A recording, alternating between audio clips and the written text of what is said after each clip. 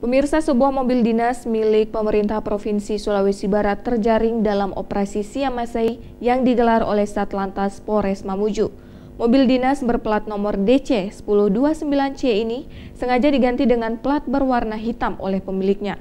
Namun aksi nakal tersebut diketahui polisi. Mobil dinas berplat hitam dengan nomor polisi DC 1029C milik Pemkap Mamuju langsung ditilang oleh Satlantas Polres Mamuju dalam operasi Zebra.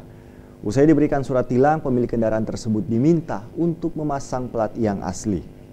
Dalam operasi yang digelar di Jalan Jenderal Sudirman, Kabupaten Mamuju ini, puluhan kendaraan lainnya juga ikut terjaring razia karena tidak memiliki surat kendaraan.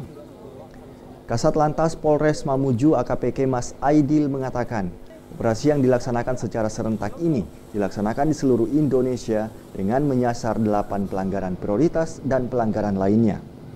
Kita tindak, kita berikan penindakan, kita tilang uh, sesuai dengan aturan karena dia sudah menyalahgunakan uh, penggunaan dari kendaraannya tersebut dan tidak sesuai dengan identitas kendaraan tersebut yang dia pakai.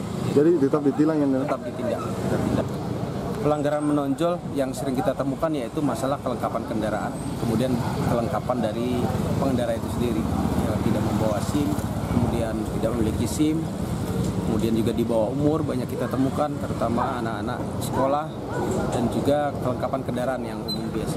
Dalam operasi Siamase ini, puluhan kendaraan yang ikut diamankan masih didominasi oleh minimnya kelengkapan surat kendaraan dan spesifikasi kendaraan yang tidak memenuhi standar. Dari Kabupaten Mamuju, Abdul Jalal, iNews melaporkan.